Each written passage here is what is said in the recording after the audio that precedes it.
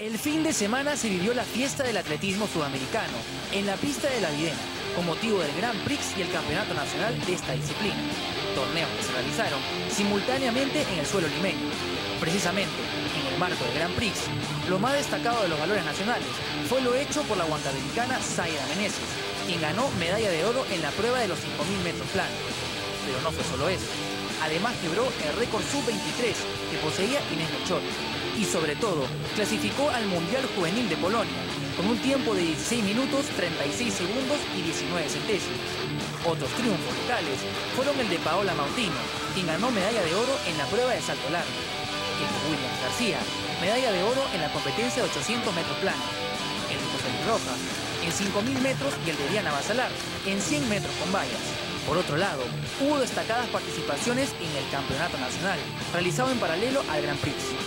Lo más saltante fue lo hecho por Alessandra Gamboa, quien obtuvo oro en lanzamiento de bala, clasificando al Iberoamericano de Atletismo y quedando muy cerca de la marca para Río 2016.